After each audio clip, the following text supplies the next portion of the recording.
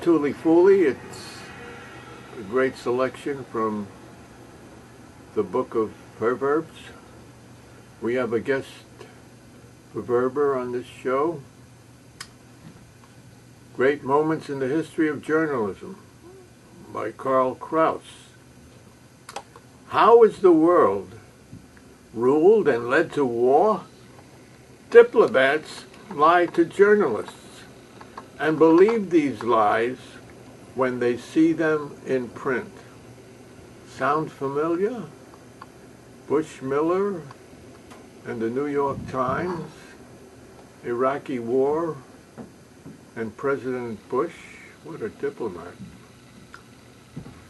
Uh, now at the bottom here we see from the memoirs of Prince von Bülow, you can see it's this, the uh, First World War, cavalry.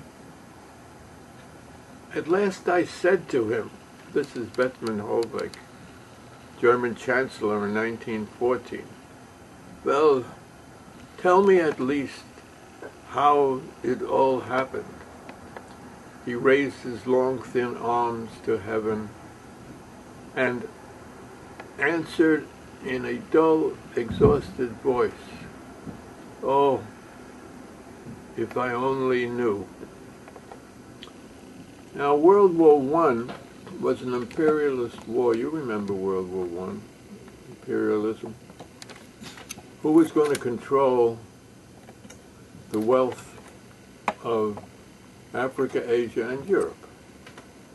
World War Two World War II was a continuation of World War I. Who was going to control the wealth of Europe, Asia, and Africa? Well, of course, there were differences, too. Uh, they were much more efficient in World War II. They could kill faster and more efficiently. Now, Karl Kraus who was the man? Who was the man? He was, he lived from 1874 to 1936. He was an Austrian journalist, critic, and poet who was a satirist has been compared with Juvenal and Jonathan Swift, born on April 28, 1874, at Gitchen,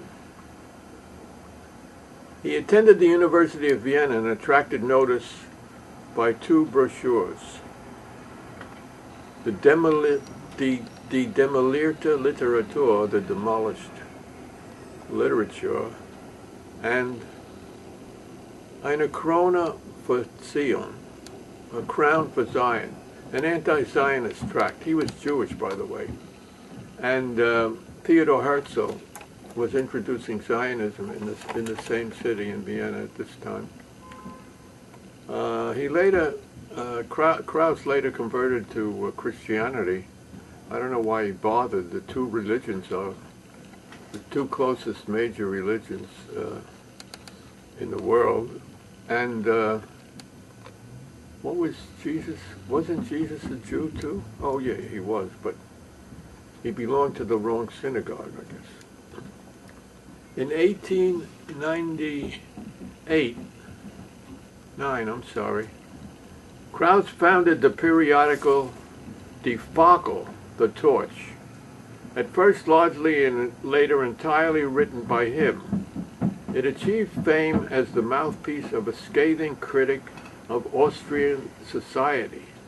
His publication ceased only with the rise of Nazism National Socialism in Austria in 1936. He was lucky. He died just before Hitler became uh, the raving maniac. He, he was. Kraus's satire was constantly directed against the Austrian middle classes and the liberal press, but later he paid his attention to topical political issues and turned to the deeper problems of preserving the best in the Austrian cultural tradition. He saw that the age had lost its bearings, and in language that rises to prophetic and even apocalyptic heights, he foretold the coming European catastrophe. His position in German literature is unique. His satire is best seen in his collected essays, Sittlichkeit und Kriminalität, Morality and Criminality, uh, Literature and Lies, and another work, The, the Sprache, the Language, 1937. And in his brilliant anti-war drama, very famous, The letzten Tage der Menschheit, The Last Days of Mankind. Uh, Kraus has come to be recognized both as a master of language and aphorism, and as a visionary who waged a relentless, though hopeless battle against the disintegration of Austrian and European and American uh, and Austrian and European society. His other words include Sprüche und Widersprüche, uh, aphorisms, well, proverbs and uh, proverbs, we'll translate that as pro domo et mundo, for home and world, nachts, night, 1918, and the drama Wolkenkucksheim, which I'm translating as Cloud Cuckoo Land. He died in Vienna on June 12, 1936, and of course missed the uh, Widerspruch of uh, Adolf Hitler and his friends. How is the world ruled and led to war? Diplomats lie to journalists and believe these lies when they see them in print.